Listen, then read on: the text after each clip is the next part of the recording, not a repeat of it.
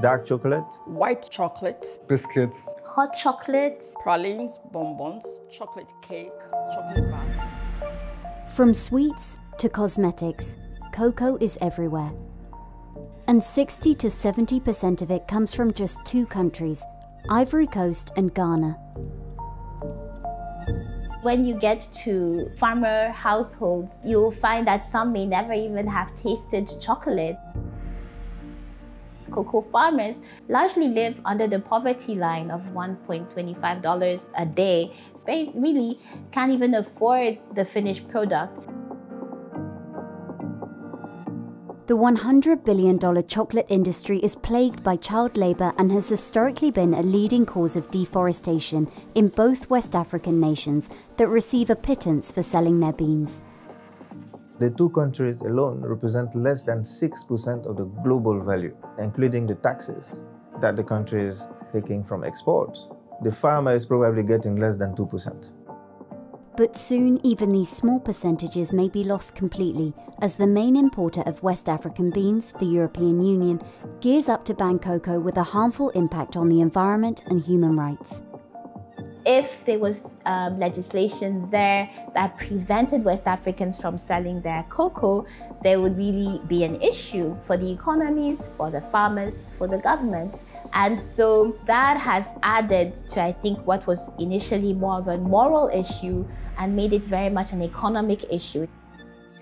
And these attempts by developed nations to force a cleanup of cocoa's supply chain while potentially hurting the livelihoods of West African farmers might not even achieve their desired goals.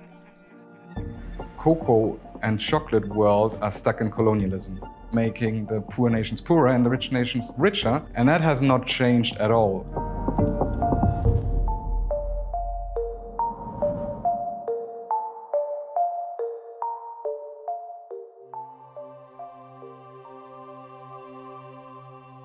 Cocoa, a tree crop native to Central and South America, was introduced to Africa over a hundred years ago. Colonial powers like France and Britain compelled some of their colonies in Africa to cultivate crops that they don't want to cultivate because of the ecological costs.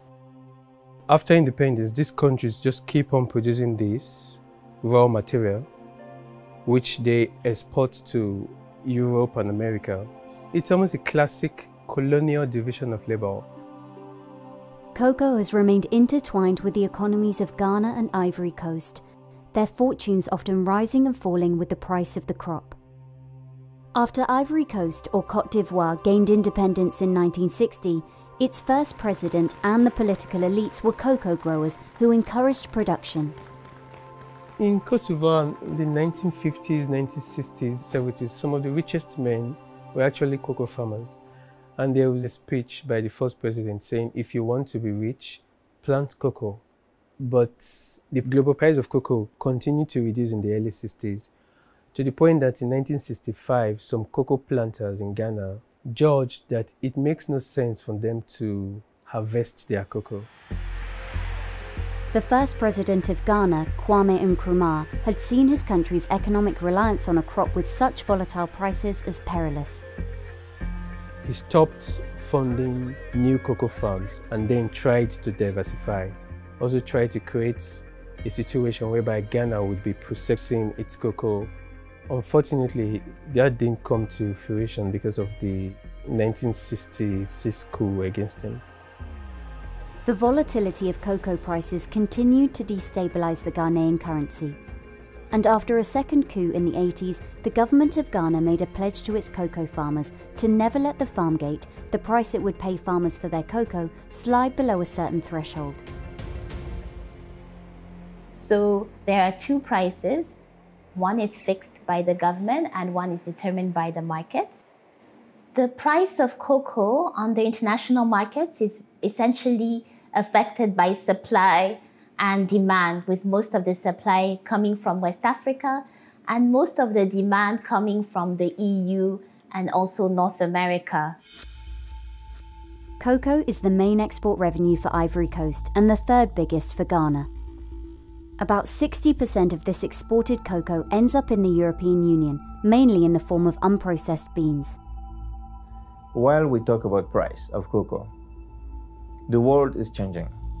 Supply and demand is probably not the market of tomorrow because we have another element, which is sustainability. So we see in Europe, there are even right now regulation proposals to ban cocoa linked to deforestation. Cocoa's connection to deforestation dates back decades, a direct link to the traditional method of cultivation used in Ivory Coast and Ghana called slash and burn. Farmers just cut down this tree and you burn the entire land, then you plant, harvest, and then move to another forest, plant, harvest. So after slash and burn planting, you tend to harvest quickly and you tend to, to use less labor. The problem with this is that the amount of forest is finite. So in Cote d'Ivoire, there's almost complete deforestation. There's no new land for cocoa farmers to move to. To try and reduce this deforestation, Ivory Coast and Ghana have been forcing farmers to replant cocoa on the same land even as the soil's nutrients get depleted. But replanting on the same spot requires more workers and more input to grow the crop, shrinking farmers' already tight margins. You now have to weed, you now have to buy fertilizers, pesticides. Second, third replanting, you need to increase your use of fertilizers.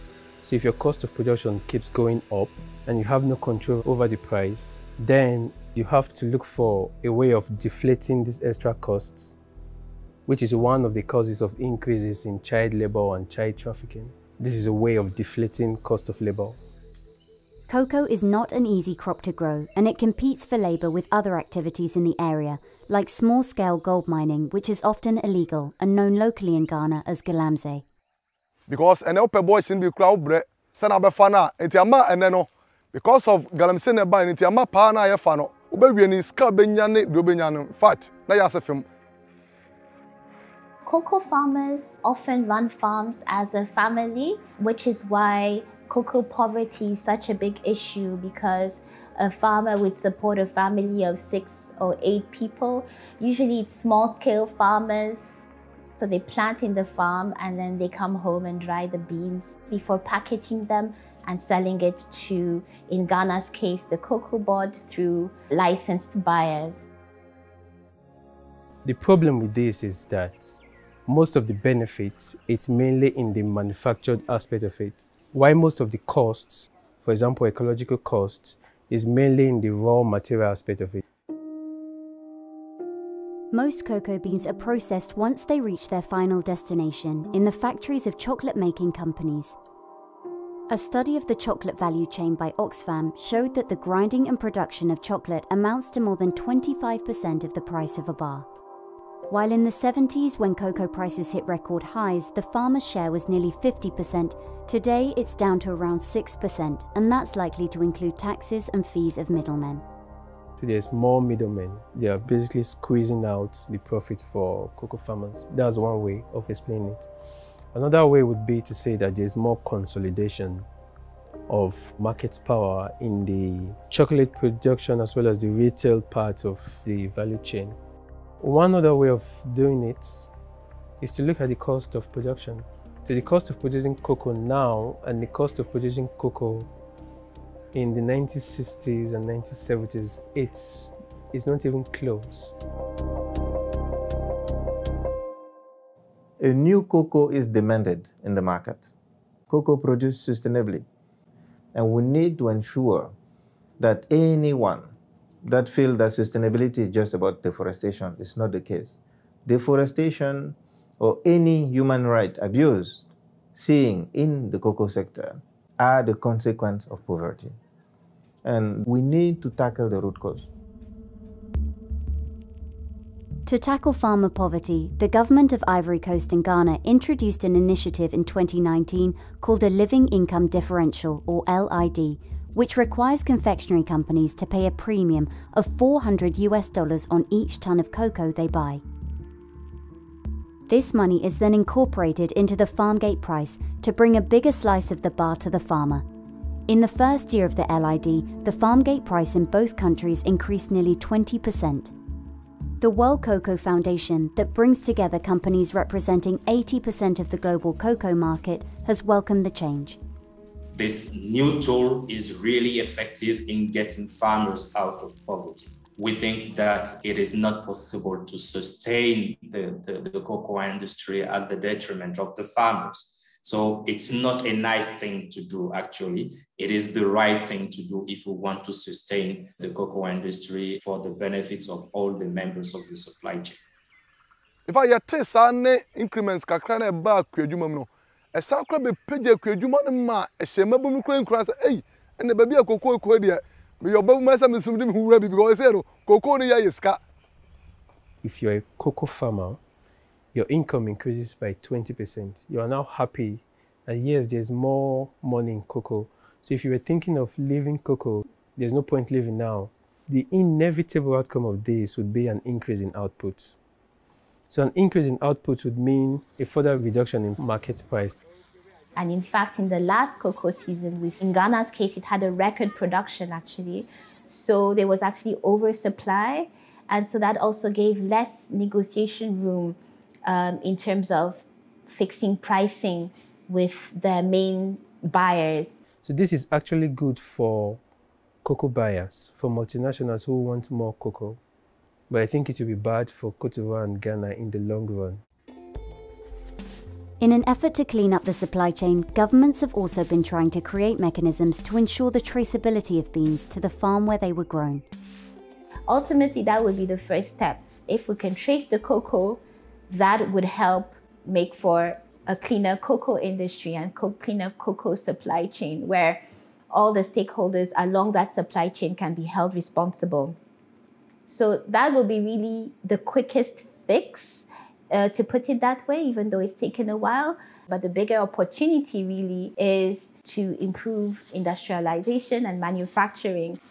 That would be a way of breaking it. Neo-colonial patterns of trade. So to break that chain would be to process the raw materials in Africa before you export. African economies have been locked in similar trading patterns with other commodities like crude oil or cotton, exporting raw materials for a low cost and then importing finished goods. But a growing taste for chocolate and a rising middle class provides an opportunity to keep more of the value of cocoa within Africa. And so in Ghana's capital, Accra, an industry of artisanal chocolate makers has taken root. It's a work of passion. I've fallen so much in love with cocoa and chocolate. When I started, it was very difficult to get information on cocoa processing and chocolate production. I had to go to the UK to learn how to use the chocolate. However, in the last six years, there's a growing small industry I think it's important that now the current administration is pushing the eating of chocolate and cocoa products. Bioko Treats is a boutique chocolate brand that caters to emerging local appetites, but it hasn't always been a smooth ride. Access to affordable funding, you know, it's just about non existent. So the company cannot grow maybe as quickly as it should. To have an impact on the wider chocolate industry, change needs to happen on a larger scale. Hendrik Reimers is the founder of Ghana-based chocolate maker Fairafric. With no bank willing to fund what was perceived as a risky project, his company went online to crowdfund a factory.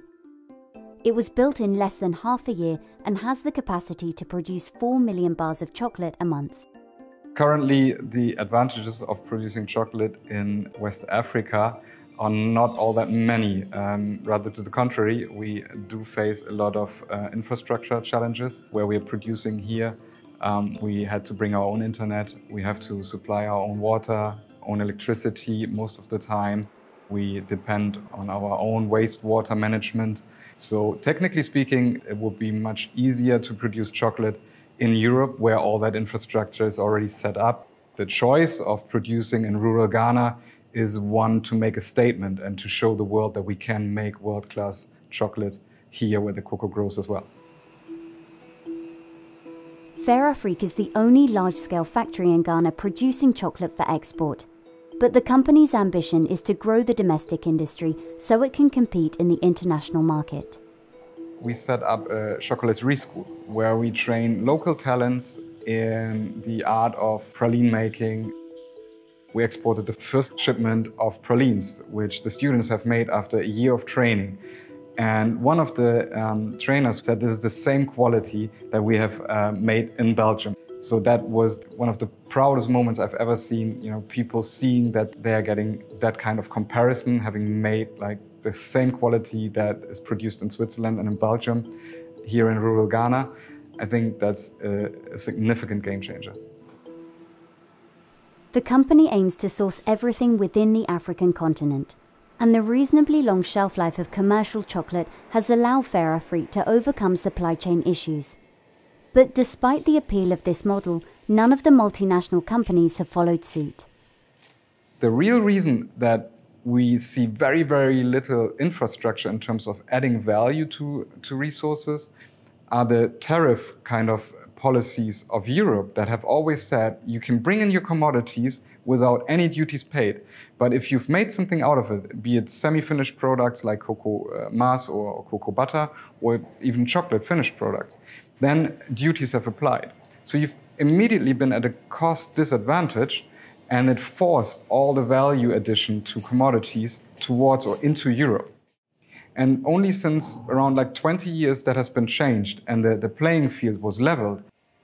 If you consider this very issue of local processing, it is reflective of the set of regulation that has been put in place. Depending on the way the government is adjusting the regulation, maybe tomorrow's picture would be different. Government, for example, is pushing to having national investors in it, but is considering to reach out first to the, the private sector and try to reach the win-win agreement I think politically, in a spirit of African self sufficiency, Africa rising, the idea is one that anyone can really easily embrace, but the practice of it is one that's difficult to implement.